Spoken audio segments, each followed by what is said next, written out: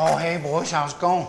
Just sitting at home there, big fucking load of stuff shows up from Reggie, fucking great big fucking propane tanks cut in half, all this metal and all this bullshit. And then I get a vague message from Ricky.